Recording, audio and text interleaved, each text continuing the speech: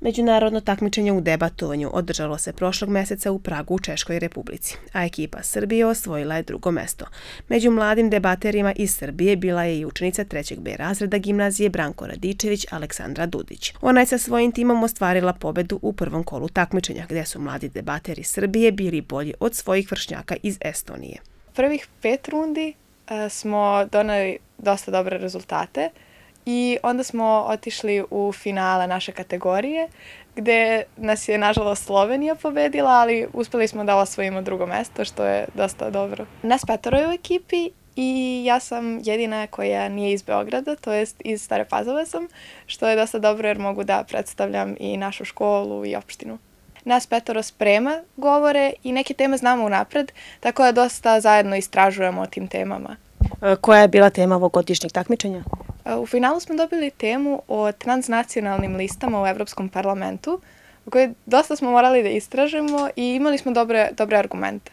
Elokventnost, snaga argumenta, logičko zaključivanje, ubedljivost, načitanost i opšta kultura krase Aleksandru i sve članove tima, a pripreme pred takmičenje su najbitnije.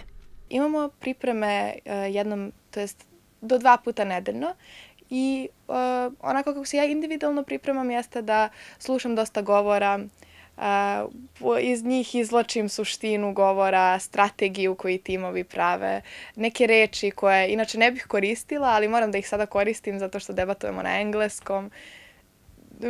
Baš su dosta intenzivne pripreme. Aleksandra je svojim trudom i radom postala i članica reprezentacije Srbije. Bilo je malo teško zato što se debatom bavi dosta srednjoškolaca i svi bi da postanu deo glavnog tima. Tako da imali smo jedne kvalifikacije koje su bile u decembru, gde smo otprilike deset debata imali, po koji su nam ocenjivali, govorili nam šta je dobro, šta nije, šta bismo trebali da popravimo.